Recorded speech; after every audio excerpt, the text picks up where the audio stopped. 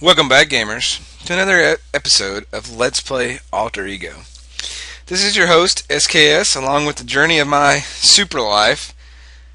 The life that I would have lived if I was drinking tequila and cranberry, and doing so. So let's see here. Let's do an intellectual bubble. All of your friends are skipping class and they want you to come along too. Hmm, interested, disinterested. Well, I'm a freaking genius, so I think I could skip class once. So let's be interested and skip class. Your status on the trustworthiness character suggests that you are not the type of person who does this sort of thing frequently. As a result, you experience no negative emotional consequences, except for a slight decrease in the calmness characteristics. Since you are so trustworthy, an action like this is bound to make you a little nervous about getting caught. Well, true. You have just passed through the adolescence phase of life. Family life can be very rough. Man, again, every time I end the video and start again, I go to the next level. Family life can be very rough during adolescence. Even though your family expects you to take charge of your life, no one wants to let you have the freedom that you want. You, judging by your project's progress through life so far, your family life has been quite good all things considered. Family members can be pains, but no one seems to mind it when you overhaul your hair for three hours every morning in the bathroom. Physically, if you have been a healthy young man, your body image may have been a little bit of concern to you during this phase, but you seem strong physically. Socially, this phase of life does present its share of problems. Most of these problems fall into the category of girls. Life must have been pretty simple before they showed up. Your social adjustment to this phase of life has been remarkable. Yeah. Although you do not have a steady girlfriend at the present time, there's always the next life phase. Excuse me with that. Now, regarding your emotional development. You are a remarkably trustworthy young man. This trait is bound to, bound to take you far, emotionally and vocationally. You are developing into the type of adult that people can confide in. Unfortunately, the burden that comes along with this characteristic is the tendency for people to tell you their problems. Mm-hmm. It looks as though you've had your share of testing the limits and done things in the spur of the moment. It also looks like some of these things haven't really turned out for the better. Risk taking is a large part of this phase of life. You should take care of that, you don't let it evolve into a plain old foolishness later. You seem to be enjoying most of what you do. Even though you experience the blues every once in a while, it's nice to see that you are not having a depressed, traumatized life. Even though an occasional explosive outburst is common in most adolescents, you seem to have everything well under control. You seem to be sensitive and gentle. okay. You certainly have a good head on your shoulders. You're not only book smart, but you have plenty of common sense. Now that your adolescence is almost over, it's time to be hurled into the abyss of the real world. I bet you didn't know that everything you did so far was part of the fake world. Oh, crap. Welcome to young adulthood. The desire accomplished is sweet to the soul. Proverbs chapter 13, verse 19. Well, we are in adulthood. Look at all these hearts. Holy shit. Lots of physical things. Um, well, we have some new bubbles here. We have purchase. We can buy things. Relationships. School. Uh, work. Children. Marriage. Oh, shit. Um, I'm just dating Ruth. I didn't. I just started college. I mean, you know, uh, Let's look at everything. Um, familia, 88. Intellectual, 100. Physical, social, vocational. Calmness is 8. Fuck Drake! I don't know what else to say about that, gamers. Um, everything else looks like it's about right. So let's hit next and um, let's see. Let's enroll in college. Yes. What kind of college would you like to attend? Low admissions, moderate, high? We're going to go high. You've met the qualifications for this school. You're now enrolled. Your resources will decrease by $100 every time you access the college icon. This will cover tuition and college related costs. You will need 12 college experiences to graduate. Sweet. Alright, let's go down here. I want to do these four and then we'll jump into college a wild driver cuts you off on the highway. You know, it happens. Um, I'm going to be calm and let him go. The person is a crazy man. He had a gun and would have tried to kill you if you messed with him. You were smart to hold your temper, even though you would have liked to run him off the road. Oh, well, um, okay. Next. You're in a large department store shopping for some clothing. When you li- when you left the house this morning, you didn't have time to shave, so you look just a bit on the grubby side. You have a question for the salesperson, but you can't seem to attract his attention. Every time you say "excuse me," he says "just a minute, sir," and chats with another salesperson about what seems to be a social matter rather than a business business matter. Well, um, I'm going to be angry and I'm going to interrupt his conversation with the other person. What would you like to say to interrupt the conversation? Hey, you, I'm talking to you. Excuse me, are you deaf or you just ignore me? Hey, excuse me, buddy, I'm getting pretty impatient here waiting for you to do your job. I'm a smartass, I'm going to do that. The salesperson looks at you and gives you an obvious sneer. Before he helps you, he turns to the person whom he was talking to and says in a voice loud enough for you to hear, Some people are so uncivilized. Get the manager, leave the store, grab him by the shirt, and threaten him. Um, let's get the manager. He is the manager. What would you like to do? Uh, leave the store and write a strong letter to the company who owns the store. Grab him and threaten him. Leave the store and refuse to shop there again. You know what? Fuck him. Leave the store and refuse. This doesn't bother them one bit. Besides, I get the feeling they didn't want you in there in the first place. Fortunately, you're smart enough to leave the store before doing something impulsive like punching the salesperson. Your biggest mistake was to approach the salesperson in a hostile manner. You could have tried a more assertive approach instead. And where would that have got me? Nowhere. Nowhere at all. Alright, so let's go next. Alright, let's do one of these physical ones.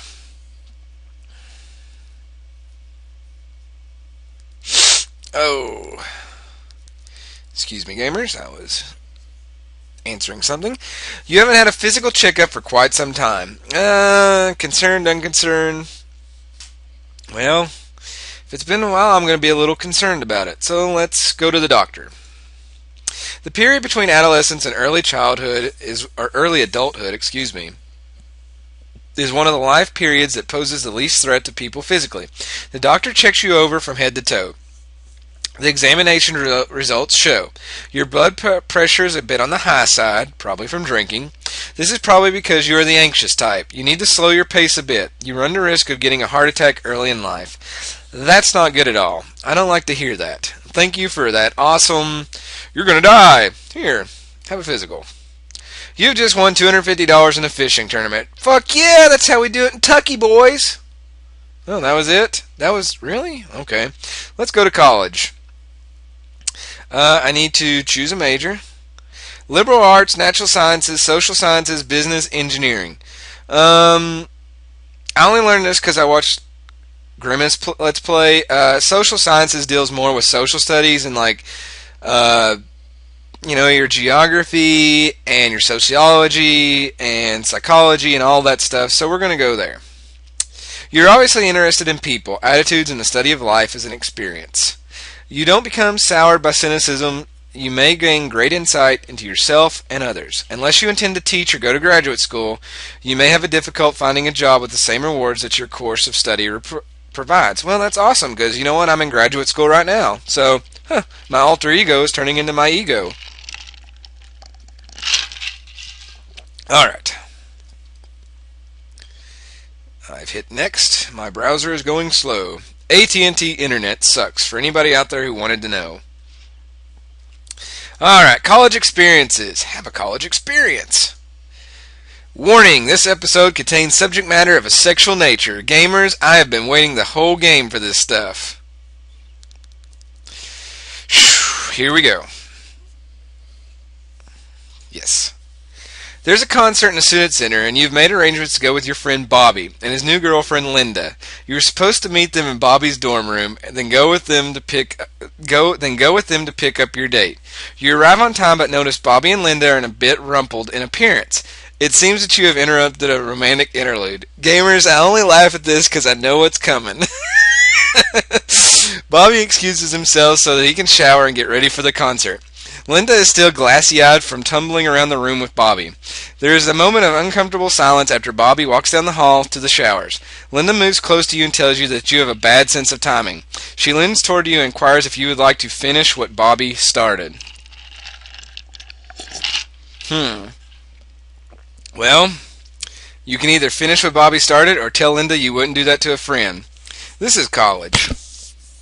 And I hate to tell you all, but Bobby If Bobby was good, he would have already been done. So let's finish what Bobby started. Linda gives you a long, sensuous kiss and pushes you down on the bed. The door creaks open. The showers are being used, and Bobby had to wait a while before using them. When he sees the two of you, he kicks you both out. Do you want to start seeing this girl regularly? Um, no. I was just trying to get a piece. She might be a bit too wild, even for a Casanova like you. dun dun! A little while later, you've just been called a winner in a famous comic book publisher's clearinghouse giveaway. Check your resources. Okay. Um, I guess I got a lot of money, but Jesus Christ, I'm making 38.70 and spending 32.21. Jeez. Who knows? All right, let's have another college experience. I really thought that that would have turned out better. I was all excited, but gamers, it let me down a little. Oh well. Let's see. Let's have a college experience. Oh, it, uh, all college experience have has sexual natures. Sweet. Perry Barber is an acquaintance who has taken a few of the same classes as you. She is a petite brunette with gorgeous green eyes, a nice smile, and a slim, athletic body. She approaches you on campus and asks if you'd be interested in helping paint her dormitory room. What will you do? Well, she's pretty hot, and it sounds like she's just trying to get me in her room. So, I can help her paint or pass on an opportunity. If you all go to college and you pass on opportunities to get some, I'm going to be very angry at you. SKS, the ghost of SKS, will haunt you and come after you. So we're going to go help her paint. During the course of the afternoon, you get to know one another very well. You work together in close quarters. The room is very small. So a lot of accidental touching and bumping occurs during the day. You aren't sure, but you think Perry is coming on to you. She already invited you to your dorm room, so yeah, Suggest the two of you take a shower. suggest that the two of you shower off together. Ignore any signals that she might be giving you. Again, if you ignore this stuff, I'm going to be mad at you. So suggest it. You are a smooth operator. She accepts, and the two of you take a nice, warm, romantic shower together. I'll leave what comes after the shower to your imagination. Oh, yeah, what Ruth doesn't know. Uh, speaking of Ruth, let's have a let's go on a date with her, have an experience. She's feeling left off. Ruth has an annoying habit that gr- grates on your nerves. Grates? Really? Grates? Grates? Huh? Whenever you go out to a restaurant, she licks her fingers at the table and sometimes makes loud sucking noises. What do you tend to do about this? Good God! Tell her she is beha- behaving like a cave woman. Gently suggest that she would be more aware of her behavior in public. Leave her alone. Nobody's perfect. Okay. There's a lot of things that I'll deal with in public that girls do. Three things that I won't deal with is a girl smoking, a girl chewing with her mouth open, and I think I've just added sucking her fingers in public like that unless you're at a bar and she's trying to pick you up. So I'm going to gently suggest that she should be more aware of her behavior in public. If it's really that important to you, she'll be happy to make the adjustment. Aw, nice. Let's go to college.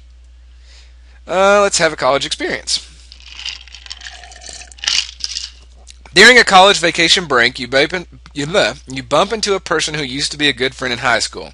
He chose to skip college and find a job. He is now working as a machine maintenance engineer at a local plant in your own hometown.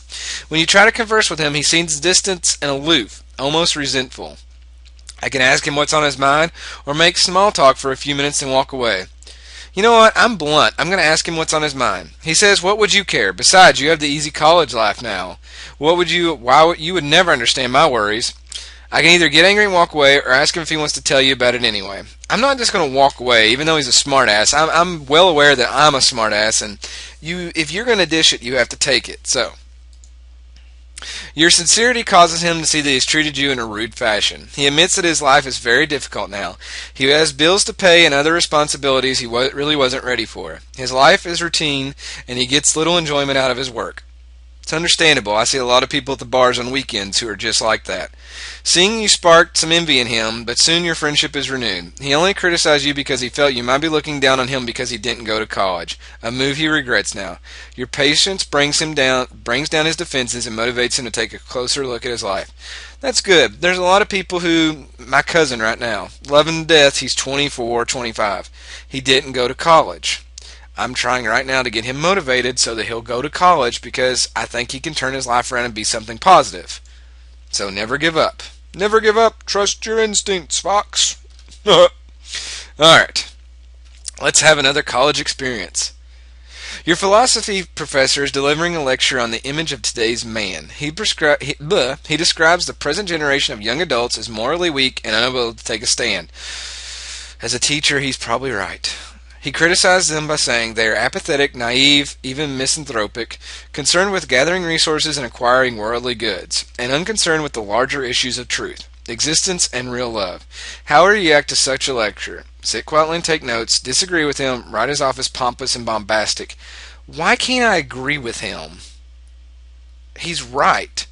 I'm going to sit quietly and take notes. I guess you don't realize that your professor is trying to anger you and the rest of his students for didactic per- per- purposes. Your lack of reaction proves his point about student apathy. Whatever. It didn't give me an option to agree with him. Four college credits. I need some more of those. All right. You and your favorite female companion have just spent a night together in the comfort of her dormitory room. You're awakened by a loud ring of the telephone. As you struggle to sound coherent on the phone, you recognize the familiar voices of her parents on the other end of the line.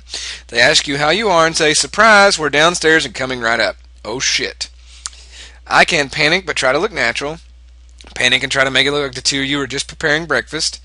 Try to get dressed, make the bed, and make it seem like you've been up for hours. Get dressed, but don't try to hide anything from them. Stay in bed and let them see you in your natural state. Okay, these bottom two are a no no. Um, uh, try to get dressed, make the bed. That's two things you want to, and make it seem like you've been up for hours. Panic and try to make it look like the two of you are preparing breakfast. I think we're going to try to do the breakfast route. Oh, they wonder if everyone who comes over for breakfast lends their daughter their O football jersey to wear as pajamas.